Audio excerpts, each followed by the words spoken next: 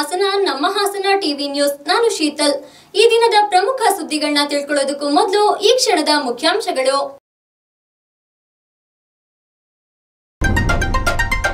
ಹಾಸನ ಜಿಲ್ಲಾದ್ಯಂತ ಶಾಂತಿಯುತ ಮತದಾನ. ಅಭ್ಯರ್ಥಿಗಳ ಭವಿಷ್ಯ ಭದ್ರ. ಹಾಸನ ಜಿಲ್ಲೆಯ ಏಳು ಕ್ಷೇತ್ರದಲ್ಲೂ ಜೆಡಿಎಸ್ ಗೆಲುವು. ಮಾಜಿ ಸಚಿವ ಎಚ್ ಡಿ ರೇವಣ್ಣ ಭವಿಷ್ಯ. ವಿವಿಧ ಪಕ್ಷದ ಅಭ್ಯರ್ಥಿಗಳು ಗುರುಪಿನಿಂದ ಮತದಾನ ಮಾಡಿದರು.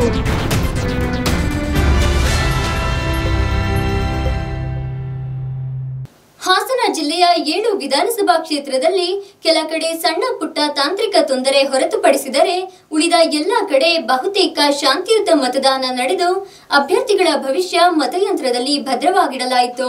ಬುಧವಾರದಂದು ಬೆಳಿಗ್ಗೆ ಏಳು ಗಂಟೆಯಿಂದಲೇ ಮತದಾನದ ಪ್ರಕ್ರಿಯೆ ಬಿರುಸಿನಿಂದ ಆರಂಭಗೊಂಡು ಮತದಾರರು ಸರತಿ ಸಾಲಿನಲ್ಲಿ ನಿಂತು ಮತ ಹಾಕುವ ಮೂಲಕ ತಮ್ಮ ಹಕ್ಕನ್ನು ಚಲಾಯಿಸಿದ್ರು. ಹೊಳೆನರಸೀಪುರ ಮತ್ತು ಸಕಲೇಶ್ಪುರ ಸೇರಿದಂತೆ ಕೆಲವೆಡೆ ಮತಯಂತ್ರದಲ್ಲಿ ತಾಂತ್ರಿಕ ದೋಷದಿಂದ ಮತದಾನ ಸ್ವಲ್ಪ ಸಮಯ ವಿಳಂಬವಾಗಿದ್ದನ್ನು ಹೊರತುಪಡಿಸಿದರೆ ಉಳಿದೆಲ್ಲ ಕಡೆ ಶಾಂತಿಯುತವಾಗಿ ಮತದಾನ ನಡೆಯಿತು. ಜಿಲ್ಲಾಧಿಕಾರಿ ಹಾಗೂ ಚುನಾವಣಾ ಅಧಿಕಾರಿ ಎಂಎಸ್ ಅರ್ಚನಾ ಅವರು ಕೆಲ ಮತಗಟ್ಟೆಗಳಿಗೆ ತೆರಳಿ ಪರಿಶೀಲನೆ ನಡೆಸಿ ಸೂಚನೆ ನೀಡಿದ್ರು. ಹರಿರಾಮ್ ಶಂಕರ್ ಅವರ ನೇತೃತ್ವದಲ್ಲಿ ಸೂಕ್ತ ಬಂದೋಬಸ್ತ್ ವ್ಯವಸ್ಥೆಯನ್ನ ಕಲ್ಪಿಸಲಾಗಿತ್ತು. ಕಳೆದ ಒಂದು ತಿಂಗಳಿನಿಂದ ಮತದಾರರನ್ನು ಓಲೈಸುತ್ತಿದ್ದ ಅಭ್ಯರ್ಥಿಗಳು ಹಾಗೂ ಹಿಂಬಾಲಕರು ಮತದಾನದ ದಿನದಂದು ಕೂಡ ಬೂತಿನ ಹೊರಭಾಗದಲ್ಲಿ ಅಂತಿಮ ಕಸರತ್ತಿನಲ್ಲಿ ಮತದಾರರ ಮನವೊಲಿಕೆ ಮಾಡುತ್ತಿರುವುದು ಕಂಡುಬಂದಿತು. ಏಳು ವಿಧಾನಸಭಾ ಕ್ಷೇತ್ರಗಳಲ್ಲಿ ಜೆಡಿಎಸ್ ಜಯಭೇರಿ ಬಾರಿಸುವುದರ ಜೊತೆಗೆ ರಾಜ್ಯದಲ್ಲಿ ಭಾರಿ ಬಹುಮತದೊಂದಿಗೆ ಜೆಡಿಎಸ್ ಸರ್ಕಾರ ಅಸ್ತಿತ್ವಕ್ಕೆ ಬರಲಿದೆ. ಎಂದು ಶಾಸಕ ಎಚ್ ಡಿ ರೇವಣ್ಣನವರು ತಿಳಿಸಿದ್ರು.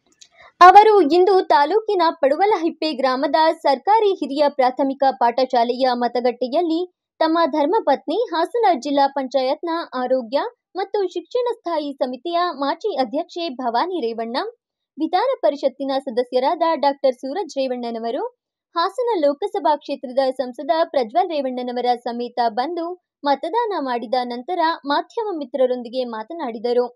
ತಾವು ಇಪ್ಪತ್ತೈದು ವರ್ಷಗಳ ಕಾಲ ಪಡುವಲಹಿಪ್ಪೆ ಗ್ರಾಮದಲ್ಲಿ ವಾಸವಿದ್ದು, ಈ ಸಲ ಆರನೇ ಬಾರಿ ವಿಧಾನಸಭಾ ಚುನಾವಣೆಯಲ್ಲಿ ಸ್ಪರ್ಧಿಸಲು ಅವಕಾಶವು ದೊರೆತಿರುವುದು ನನ್ನ ಭಾಗ್ಯ. ಹಳೆಕೋಟೆ ಬೆಟ್ಟದ ರಂಗನಾಥ ಸ್ವಾಮಿ, ಹೊಳೆನರಸೀಪುರದ ಶ್ರೀ ಲಕ್ಷ್ಮೀ ನರಸಿಂಹಸ್ವಾಮಿ ದೇವರ ಆಶೀರ್ವಾದ ತಮ್ಮ ಕುಟುಂಬದ ಮೇಲಿದ್ದು, ಮಾಜಿ ಪ್ರಧಾನಿ ಎಚ್ ಡಿ ದೇವೇಗೌಡರು ಈ ನಾಡಿಗೆ ನೀಡಿರುವ ಕೊಡುಗೆಗಳು ಮತ್ತು ಮಾಜಿ ಮುಖ್ಯಮಂತ್ರಿ ಎಚ್ ಡಿ ಕುಮಾರಸ್ವಾಮಿ ಅವರ ಜನಪರ ಯೋಜನೆಗಳು, ಪಂಚರತ್ನ ರಥಯಾತ್ರೆಯು ಫಲ ನೀಡಲಿದ್ದು ಹಾಸನ ಜಿಲ್ಲೆಯ ಎಲ್ಲಾ ವಿಧಾನಸಭಾ ಕ್ಷೇತ್ರಗಳಲ್ಲಿ ಜೆಡಿಎಸ್ ಅಭ್ಯರ್ಥಿಗಳು ದಿಗ್ವಿಜಯ ಸಾಧಿಸುವ ಮೂಲಕ ಜನತಾ ಜನಾರ್ದನರ ಸೇವೆಯನ್ನು ಮಾಡಲಿದ್ದಾರೆ ಎಂದರು. ಹೊಳೆನರಸೀಪುರ ವಿಧಾನಸಭಾ ಕ್ಷೇತ್ರದಿಂದ ಇವತ್ತು ನಾನು ಮತದಾನ ಮಾಡಿದ್ದೇನೆ ನನ್ನ ಕೊಡಲಿಪ್ಪು ಕ್ಷೇತ್ರ ಕೊಡಲಿಪ್ಪು ಸುಮಾರು ಈ ಗ್ರಾಮದಲ್ಲಿ ನಾನು ಸುಮಾರು ಇಪ್ಪತ್ತೈದು ವರ್ಷ ವಾಸ ಇದ್ದೇನೆ ಗೊತ್ತಾಯ್ತು ಸರ್ ಇವತ್ತು ನಾನು ನನ್ನ ಮಿಸ್ಸಸ್ ಭವಾನಿಯವರು ಸೂರಜ್ ದೇವಿನವರು यार पीछे कर ले भाई केबल आ रही है ಒಟ್ಟಿಗೆ ನಾವು ಸೇರಿ ಇವತ್ತು ನಾವು ಮತದಾನ ಮಾಡಿದ್ವಿ ನಮ್ಮ ಗ್ರಾಮ ಹುಟ್ಟೂರು ಹದಿನೆಂಟು ಇದ್ದರು ಇದು ನಮಗೆ ಏಳನೇ ಗ್ರಾಮ ಇದು. ಈ ಗ್ರಾಮದಲ್ಲಿ ಇವತ್ತು ಹೊಳೆನರಸೀಪುರ ವಿಧಾನಸಭೆ ಅಧಿಕ ಮತದಿಂದ ಗೆಲ್ಲಿಸ್ತಾರೆ ವಿಶ್ವಾಸ ಇದೆ. ಮತ್ತು ಅದು ನಮ್ಮ ರಂಗನಾಥ ಸ್ವಾಮಿ ಲಕ್ಷ್ಮೀ ಎಲ್ಲ ಥರ ಇದು ಆರನೇ ಚುನಾವಣೆ ನಡೀತದೆ. ಮತ್ತು ಜಿಲ್ಲೆಯಲ್ಲಿ ಏಳು ಏಳು ಸ್ಥಾನದಲ್ಲಿ ಏನು ಇವತ್ತು ದೇವೇಗೌಡರು ಜಿಲ್ಲೆ ಕೊಟ್ಟಿರುವಂಥ ಕೊಡುಗೆ ಇದೆ. ಏಳು ಏಳು ಜಿಲ್ಲೆ ಎಂ ಪಿ ಎಂ ಪಿ ಒಳಗೊಂಡ ಜೆ ಡಿ ಎಸ್ ಅಭ್ಯರ್ಥಿಗಳು ಹೆಚ್ಚಿನ ಜನತೆ ದೇವೇಗೌಡರ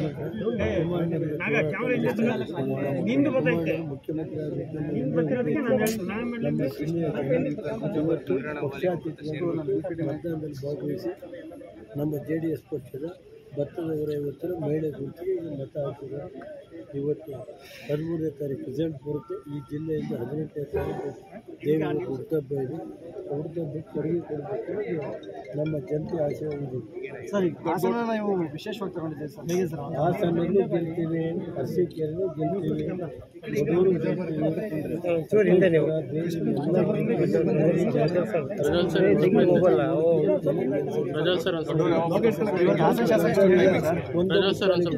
ಶಾಸಕರು ನಾನು ಒಂದು ಲಕ್ಷ ಮಾತಾಡ್ತೀನಿ ಮತ್ತೆ ನಾನು ಅದೆಲ್ಲ ಅವ್ರಿಗೆಲ್ಲ ಹೇಳಕ್ಕೆ ಹೋಗಲ್ಲ ಅವ್ರು ಏನು ಹಿಡಿದಿದೆ ಕಳೆದ ಇವತ್ತು ನಾಲ್ಕು ವರ್ಷ ಯಾವ ಒಂದು ರಿಂಗ್ ರೋಡ್ ಮಾಡ್ಸೋಕ್ಕಾಗಿದೆ ಅದು ಆ ರಿಂಗ್ ರೋಡ್ಗೆ ದುಡ್ಡು ಇಸ್ಕೊಂಡು ಇಬ್ಬರು ಗಿರಾಕಿ ಇವತ್ತು ರಿಂಗ್ ರೋಡ್ ಮಾಡೋಕ್ಕಾಗೈತೆ ಅವ್ರು ಯಾಕೆ ಅವ್ರನ್ನ ಯಾಕೆ ತಲೆ ಕೆಡಿಸಿದ್ರು ಇವತ್ತಿನಲ್ಲಿ ನೆನ್ಕೊಳ್ಳೋಕೆ ಹೋಗ್ತಾರೆ ಹಿಡಿದು ಮತದಾರ ಬಂಧುಗಳು ಲವಲವಿಕೆಯಿಂದ ಮತಗಟ್ಟೆಗೆ ಆಗಮಿಸಿ ಮತದಾನ ಮಾಡುವ ಮೂಲಕ ನಮ್ಮ ಪ್ರಜಾಪ್ರಭುತ್ವದ ಬೇರುಗಳನ್ನು ಗಟ್ಟಿಗೊಳಿಸುವ ಕಾರ್ಯವನ್ನು ಮಾಡುತ್ತಿರುವುದು ಅಭಿನಂದನೀಯ ಎಂದು ಮೆಚ್ಚುಗೆಯನ್ನು ವ್ಯಕ್ತಪಡಿಸಿದರು. ಈ ಸಂದರ್ಭದಲ್ಲಿ ಜೆಡಿಎಸ್ ಮುಖಂಡರು ಮತ್ತು ಕಾರ್ಯಕರ್ತರು ಉಪಸ್ಥಿತರಿದ್ದರು. ಶ್ರವಣಬೆಳಗೊಳ ವಿಧಾನಸಭಾ ಕ್ಷೇತ್ರದ ಜೆಡಿಎಸ್ ಅಭ್ಯರ್ಥಿ ಸಿಎನ್ ಬಾಲಕೃಷ್ಣರವರು ತಮ್ಮ ಸ್ವಗ್ರಾಮವಾದ ಎ ಚೋಳನಹಳ್ಳಿಯಲ್ಲಿ ತಮ್ಮ ಕುಟುಂಬದ ಸದಸ್ಯರೊಂದಿಗೆ ಮತ ಚಲಾವಣೆ ಮಾಡಿದ್ರು. ನಮ್ಮ ತಾಲೂಕಿನ ಮತದಾರರು ನಮ್ಮ ಜೆಡಿಎಸ್ ಪಕ್ಷದ ಕನ್ನಡ ನಾಡು ನುಡಿಯ ಪರವಾದ, ರೈತರ ಪರವಾದ, ದೀನದಲಿತರ ಪರವಾದ, ಜನಪರವಾದ ಯೋಜನೆಗಳನ್ನು ಮನದಲ್ಲಿಟ್ಟುಕೊಂಡು ಹಾಗೂ ನಮ್ಮ ಜೆಡಿಎಸ್ ಪಕ್ಷದ ಅಧಿಕಾರದ ಅವಧಿಯಲ್ಲಿ ಮಾಡಿದ ಅಭಿವೃದ್ಧಿ ಕೆಲಸಗಳನ್ನು ಹಾಗೂ ರೈತರ ಸಾಲ ಮನ್ನಾ ಯೋಜನೆಯನ್ನು ಪರಿಗಣಿಸಿ ಹೆಚ್ಚಿನ ಮತಗಳನ್ನು ನೀಡುವ ಮೂಲಕ ಹ್ಯಾಟ್ರಿಕ್ ಶಾಸಕರಾಗಿ ಆಯ್ಕೆ ಮಾಡುತ್ತಾರೆ ಎಂದು ಆತ್ಮವಿಶ್ವಾಸದ ಮಾತುಗಳನ್ನು ನುಡಿದರು.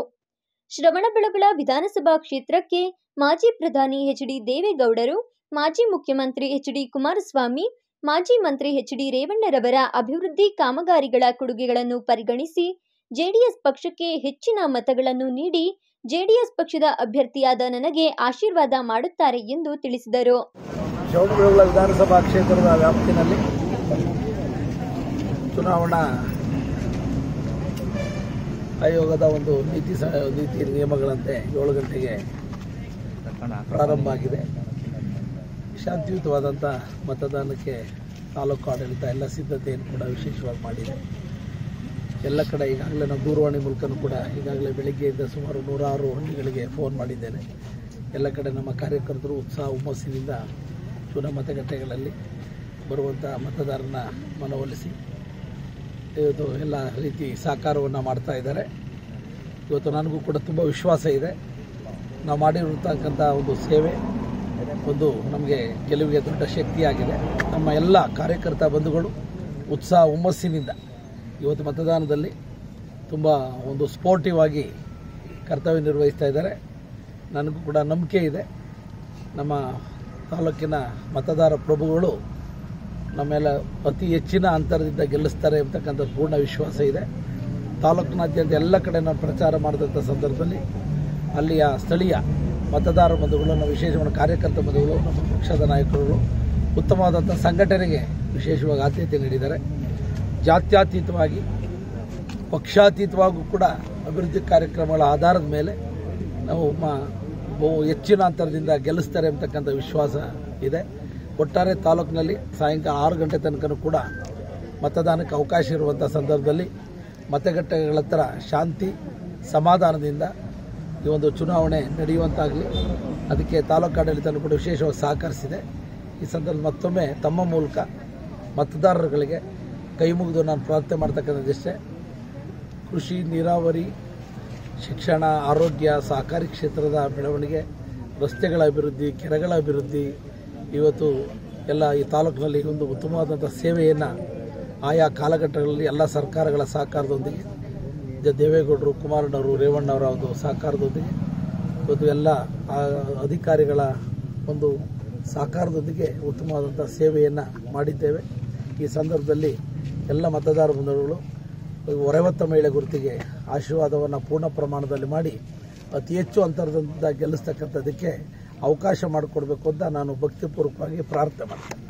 ಇದೇ ಸಂದರ್ಭದಲ್ಲಿ ಕರ್ನಾಟಕ ಸಹಕಾರ ಮಾರಾಟ ಮಂಡಳಿಯ ನಿರ್ದೇಶಕರಾದ ಸಿಎನ್ ಪುಟ್ಟಸ್ವಾಮಿ ಗೌಡ, ಮಾಜಿ ಜಿಲ್ಲಾ ಪಂಚಾಯತ್ ಸದಸ್ಯ ಸಿಕೆ ಕುಸುಮರಾಣಿ, ಶಾಸಕರ ತಾಯಿಯಾದ ಸೋಂಬಮ್ಮ, ಶಾಸಕರ ಪುತ್ರರಾದ ಜಯದೀಪ್ ಶಾಸಕರ ಪುತ್ರಿಯಾದ ನಕ್ಷತ್ರ ಸೇರಿದಂತೆ ಜೆಡಿಎಸ್ ಪಕ್ಷದ ಮುಖಂಡರು ಹಾಗೂ ಕಾರ್ಯಕರ್ತರು ಮತ್ತು ಚೋಳೇನಹಳ್ಳಿ ಗ್ರಾಮಸ್ಥರು ಇದೇ ಸಂದರ್ಭದಲ್ಲಿ ಹಾಜರಿದ್ದರು. ಕಾಂಗ್ರೆಸ್ ಅಭ್ಯರ್ಥಿ ಎಂಎ ಗೋಪಾಲಸ್ವಾಮಿ ಸ್ವಗ್ರಾಮ ಜಂಬೂರು ಗ್ರಾಮದ ಸರ್ಕಾರಿ ಶಾಲೆಯ ಆವರಣದ ಮತಗಟ್ಟೆಗೆ ತಮ್ಮ ಕುಟುಂಬಸ್ಥರೊಂದಿಗೆ ಆಗಮಿಸಿ ಮತದಾನದ ಹಕ್ಕನ್ನ ಚಲಾಯಿಸಿದ್ರು.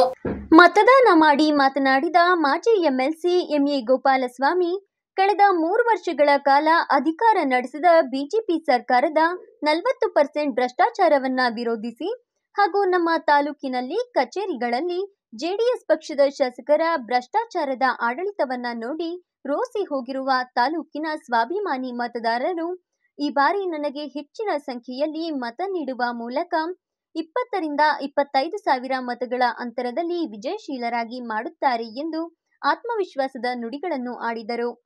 ನನ್ನ ಅಧಿಕಾರದ ಅವಧಿಯಲ್ಲಿ ಎಷ್ಟು ಅಭಿವೃದ್ಧಿ ಕೆಲಸಗಳನ್ನ ಮಾಡಿದ್ದೇನೆ ಎಂಬುದನ್ನು ಮತದಾರರು ತೀರ್ಮಾನ ಮಾಡಿ, ನನ್ನ ಆರು ವರ್ಷದ ಅಧಿಕಾರದ ಅವಧಿಯಲ್ಲಿ ಸಾರ್ವಜನಿಕರಿಂದ ಒಳ್ಳೆಯ ವ್ಯಕ್ತಿ ಎಂಬ ಪ್ರಶಂಸೆಯ ನುಡಿಗಳಿಗೆ ಭಾಜನರಾಗಿದ್ದೇನೆ ಹೊರತು ಕೆಟ್ಟ ವ್ಯಕ್ತಿ ಎಂದು ಇದುವರೆಗೂ ಯಾರಿಂದಲೂ ಕರೆಸಿಕೊಂಡಿಲ್ಲ.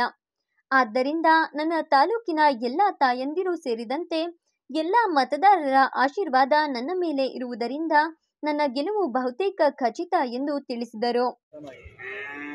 ಸಂದರ್ಭದಲ್ಲಿ ಒಂದು ಮುಖಪ್ರದರ್ಶನ ಅದೆಲ್ಲ ನೋಡ್ತಾ ಇದ್ರೆ ಈ ರಾಜ್ಯ ಸರ್ಕಾರ ಭ್ರಷ್ಟತೆ ಈ ಕ್ಷೇತ್ರದಲ್ಲಿ ಕೂಡ ತಾಲೂಕು ಕಚೇರಿ ಇರ್ಬೋದು, ಪೊಲೀಸ್ ಇಲಾಖೆ ಇರ್ಬೋದು, ಎಲ್ಲ ವೈಫಲ್ಯಗಳನ್ನ ಜನ ಮನವರಿಕೆ ಮಾಡ್ತಾರೆ. ಅದರಿಂದ ಈ ತಾಲೂಕಿನಲ್ಲಿ ನಾನು ಖಂಡಿತ ಇಪ್ಪತ್ತರಿಂದ ಇಪ್ಪತ್ತೈದು ಸಾವಿರ ನೀರಲ್ಲಿ ನಾನು ಜಯಶೀಲ ಆಗ್ತಿದ್ದು ಜನ ಅಭಿಪ್ರಾಯ ಪಡ್ತಾರೆ ಆಶೀರ್ವಾದ ಇರ್ಬೋದು ಅಂದ್ಕೊಂಡಿದ್ದೀನಿ ನಾನು ಒಂದು ಮತದಲ್ಲಿ ಗೆದ್ದರೆ ಒಂದು, ಇಪ್ಪತ್ತು ಸಾವಿರದಲ್ಲಿ ಗೆದ್ದರೆ ಹದಿನೈದು ಸಾವಿರ.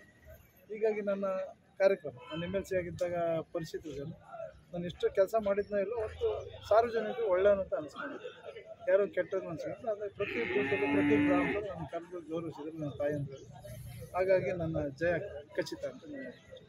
ಇದೇ ಸಂದರ್ಭದಲ್ಲಿ ಮಾಜಿ ಜಿಲ್ಲಾ ಪಂಚಾಯತ್ ಸದಸ್ಯರಾದ M K Manjegowda M A Rangaswamy Gopalaswamy ಅವರ ಮಡದಿಯಾದ ಗೀತಾ ಗೋಪಾಲಸ್ವಾಮಿ ಗೋಪಾಲಸ್ವಾಮಿಯವರ ಪುತ್ರಿಯಾದ ಡಾಕ್ಟರ್ ಭಾವನಾ ಪುತ್ರನಾದ ಶಶಾಂಕ್ ಕಾಂಗ್ರೆಸ್ ಪಕ್ಷದ ಮುಖಂಡರು ಹಾಗೂ ಕಾರ್ಯಕರ್ತರು ಸೇರಿದಂತೆ ಇತರರು ಹಾಜರಿದ್ದರು. ಹಾಸನ ನಗರದ ಎಂಜಿ ರಸ್ತೆ ಬಳಿ ಇರುವ ಶ್ರೀ ಆದಿಚುಂಚನಗಿರಿ ಆಂಗ್ಲ ಮಾಧ್ಯಮ ಶಾಲೆಯ ಆವರಣದಲ್ಲಿ ಕ್ಷೇತ್ರದ ಶಾಸಕ ಪ್ರೀತಂ ಗೌಡ ಅವರು ಪತ್ನಿಯೊಂದಿಗೆ ಸರದಿ ಸಾಲಿನಲ್ಲಿ ಬಂದು ಮತದಾನ ಮಾಡಿದ್ರು.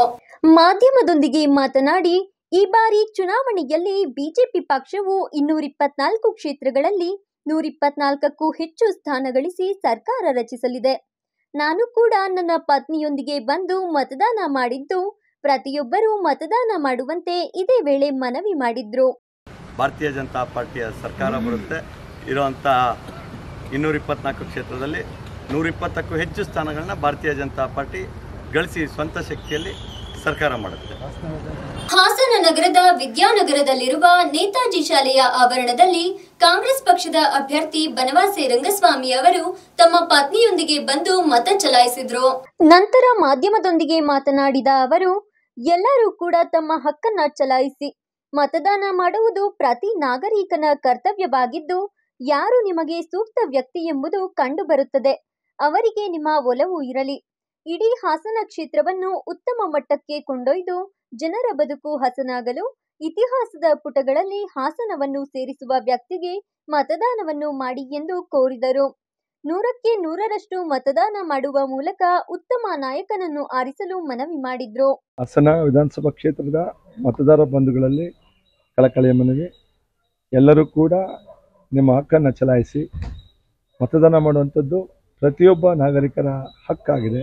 ಹಕ್ಕನ್ನು ಚಲಾಯಿಸಿ ಯಾರೋ ನಿಮಗೆ ಒಳ್ಳೆಯ ವ್ಯಕ್ತಿ, ಸೂಕ್ತ ವ್ಯಕ್ತಿ ಅಂತೇಳಿ ಕಾಣಿಸ್ತಾರೆ. ಅವ್ರನ್ನ ಕೈ ಹಿಡೀರಿ. ಒಂದು ಮುಂದಿನ ಆಸನ ವಿಧಾನಸಭಾ ಕ್ಷೇತ್ರದ ಮಹಾಜನತೆಯನ್ನು, ಏನು ಅವರ ಜೀವನವನ್ನು, ಇಡೀ ಅವರ ಬದುಕನ್ನು ದೊಡ್ಡ ಮಟ್ಟಕ್ಕೆ ಕೊಂಡೊಯ್ಯುವಂಥ ಒಳ್ಳೆಯ ಮಟ್ಟಕ್ಕೆ ಕೊಂಡೊಯ್ಯುವಂಥ ಇಡೀ ಆಸನವನ್ನು ಒಳ್ಳೆ ರೀತಿಯಲ್ಲಿ ಸ ಇತಿಹಾಸದ ಪುಟಗಳಲ್ಲಿ ಸೇರಿಸುವಂಥ ವ್ಯಕ್ತಿಗೆ ನೀವು ಮತದಾನವನ್ನು ಮಾಡಿ. ಎಲ್ಲರೂ ಕೂಡ ನೂರಕ್ಕೆ ನೂರಷ್ಟು ಮತದಾನ ಮಾಡ್ತೀರಿ ಅಂತೇಳಿ ನನ್ನ ನಂಬಿಕೆ ಇದೆ. ನಿಮ್ಮೆಲ್ಲರಿಗೂ ಅನಿಸುತ್ತಾ ಬನವಾಸೆ ರಂಗಸ್ವಾಮಿ ಅದು ನಾನು. ನಿಮ್ಗೆಲ್ಲರಿಗೂ ಕೂಡ ಬಿಡಿಕೊಳ್ತಾ ಇದ್ದೇನೆ.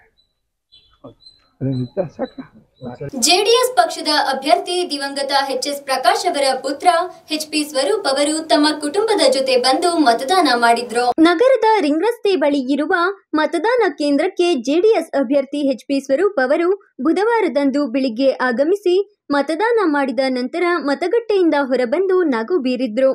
ಪ್ರತಿಯೊಬ್ಬರೂ ಬಂದು ಮತದಾನ ಮಾಡುವಂತೆ ಮತದಾರರಲ್ಲಿ ಇದೇ ವೇಳೆ ಮನವಿ ಮಾಡಿದ್ರು. ಹಾಸನ ಕ್ಷೇತ್ರದ ಸಲಗಾಮಿ ಹೋಬಳಿಯ ಅನುಗನಾಳ್ ಗ್ರಾಮದಲ್ಲಿ ಕೃಷ್ಣಮೂರ್ತಿ ಎಂಬುವರ ಸೋದರತ್ತೆ ನೂರ ಹದಿನಾರು ವರ್ಷದ ಜವರಮ್ಮ ಎಂಬುವರು ಮತದಾನ ಮಾಡಿದ್ರು. ಬೂತ್ ಸಂಖ್ಯೆ ಮೂವತ್ನಾಲ್ಕರಲ್ಲಿ ಎಕೆ ಭರತ್ ಅವರ ಸಹಾಯದಲ್ಲಿ ವೃದ್ಧೆ ಜವರಮ್ಮ ಅವರು ಮತಗಟ್ಟೆಗೆ ಬಂದು ತಮ್ಮ ಹಕ್ಕನ್ನು ಚಲಾಯಿಸಿದರು.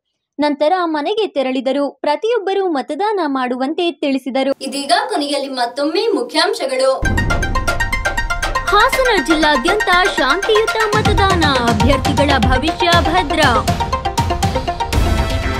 ಹಾಸನ ಜಿಲ್ಲೆಯ ಏಳು ಕ್ಷೇತ್ರದಲ್ಲೂ ಜೆಡಿಎಸ್ ಗೆಲುವು. ಮಾಜಿ ಸಚಿವ ಎಚ್ ಡಿ ರೇವಣ್ಣ ಭವಿಷ್ಯ.